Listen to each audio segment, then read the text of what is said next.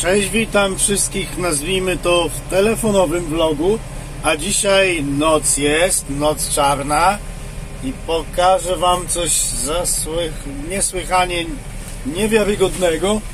I co ja tu robię, może tutaj nie widać w tym miejscu, aczkolwiek dzisiaj wziąłem się i e, robię chwasty w zbożach ozimych, przeżycie dokładnie, to jest ostatnia działka, tutaj w tym miejscu lgnąłem z Waltrą, stali widzowie to na pewno skojarzą. I co tu ja robię? No, tego dołka nie opryskam, bo tam jeszcze woda stoi. W kolejnach ledwo poprzeczniak przejechałem do Brzytycie czy roboczej mam mało, bo to ostatnie 2 hektary, czyli tylko 400 litrów. No i jak już zacząłem temat, no to e, 200 litrów na hektar cieczy roboczej. E, środek to jest ekspert od Bayera. Stary środek, sprawdzony. Miejmy nadzieję, że będzie też skuteczny. E, no i cóż, no co da się tego dołka, no to tak jak tutaj, korzystając z uprzejmości sąsiedzkiej, przejadę sobie po twardej łące i prysnę y, chociaż kawałkiem, żeby tego zielska nie było, tak jak tam z tyłu poprzeczniak. Y, I tutaj e, ten właśnie temat, włączymy sobie znaczenie pianowe i pryskamy zaraz można będzie przejechać. O i od tego miejsca można będzie już o co było zasiane ryzykować e, i siać. To znaczy nie siać tylko pryskać przepraszam. Jakoś tak mi e, mówienie i robienie kilku rzeczy naraz średnio wychodzi co zresztą widać. Więc cóż no a jeszcze wyłączyć. O pianowanie. Opa. Dobra temat jest ogarnięty. E, nie zakładałem ścieżek technologicznych z tego względu, że no ten 3-metrowy mój zestaw troszkę jest upośledzony i gdzie niegdzie te nakładki są już ta precyzja, jeśli chodzi o e, po prostu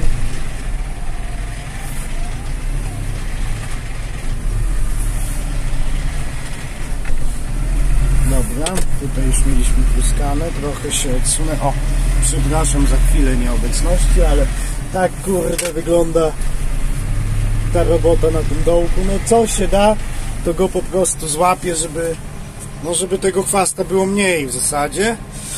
Dlaczego taka decyzja? No przyznaję się w tym roku będę próbował, będę starał się generalnie prowadzić yy, uprawy zbóż nie olewczo, a tak można powiedzieć bardziej profesjonalnie do tego podejdę, żeby coś też one zysku przynosiły, a nie na zasadzie jest, bo jest, bo być musi. Więc sobie troszeczkę ambitniejszy plan postawiłem. No i wiosna wiadomo, jak to wiosna tej pracy jest nie wiadomo ile, więc yy, oprysk idzie jesienny, mocno opóźniony, bo jest już listopad połowa listopada, w zasadzie za połową, ale temperatury są przyzwoite, więc dlatego się zdecydowałem e, tego chwasta zrobić. Tutaj no, na tej działce jest najmniejsze te zboże, bo było ostatnia siana i to, to już widać, że jest najsłabsze. Na poprzednich dwóch już miały tak po trzy listki, więc, więc ostatni dzwonek na, na wykonanie tego zabiegu. Tutaj jest jeden listek, dwa Zobaczymy jak to wyjdzie. Plan jest ogólnie jeszcze i tę jedynkę robić, tę dwójkę, tak jak wszystko e, należy. Tutaj wszędzie był siany kwalifikat, także też jest już e, ziarno od chłopów grzybowych co nieco zabezpieczone. Miejmy nadzieję, e, że będzie dobrze po prostu. Także tak wygląda nocna robota. Jeszcze jako ciekawostkę powiem, belka 15, spokojnie oświetlenie wystarcza ściągnika, tak jak tu widać. Całą belkę sobie widzimy elegancko. Rozstawiłem halogeny na kabinie te tylne maksymalnie do, do zewnętrznej strony, żeby mi oświetlały belkę. No i fajnie to wyszło. Właśnie dlaczego nocą też pryskam, bo od jutra już opady deszczu, załamanie pogody, e, więc wykorzystać tutaj ten ostatni gwizdek. Wczoraj kupiłem właśnie środki, dzisiaj pryskam. Miejmy nadzieję, że będzie fajnie.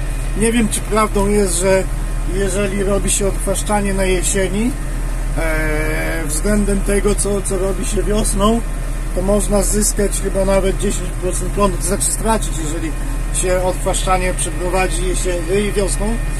Nie wiem, no ja tutaj mówię Wam, że ja do tej pory zboża to traktowałem są, bo są.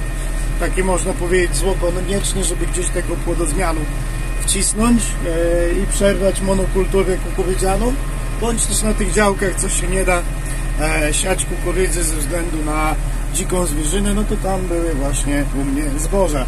Ale że są właśnie, to już wracając do początku filmu, to niech będą takie jak być powinny. Miejmy nadzieję. Tutaj ogólnie ziemia jest fajna, czwarta klasa, więc te przężyto ma potencjał, tylko są takie miejsca, tak jak widzieliście na końcu, troszkę mokrzejsze, no i tutaj dojeżdżamy, jest kawałek takiego dołka, gdzie może być różnie, więc e, z pierwszą dawką azotu trzeba będzie e, celować w jakiś mroźny poranek. E, no miejmy nadzieję, że e, łapnie sięgnie to jeszcze marca te mroźne poranki, jak nie to trzeba będzie e, po cichu nocą znowu e, stosować azot. Zobaczymy jak to wyjdzie. Do wiosna wszystko pokaże. Na razie jest, powiem Wam, sucho. No, oprócz tamtego miejsca, no ale tamte to jest specyficzne. Także myślę, że to by było na tyle. Taka krótka informacja e, odnośnie tego, co ja sobie działam na gospodarstwie. Także generalnie się nie nudzę i zajęć sobie znajduję. Ogólnie też teraz wziąłem się za czyszczenie działek z krzaków, gałęzi, wszystkiego takiego różnego rodzaju dziadostwa, można powiedzieć, drzewiastego, tak to sobie nazwijmy.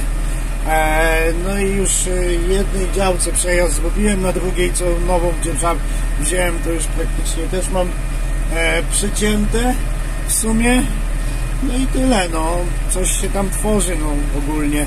Czekam też obornik płyty się na, co nazbiera się na płycie na koniec miesiąca, to jeszcze można będzie wywieźć, powiedzmy sobie legalnie w 100% na łąki, na pola uprawne trochę naginając przepisy, no bo jak każdy wie, były złe warunki e, poprzedni, ten, w poprzednim miesiącu, czyli w październiku i nie można było tego wykonać.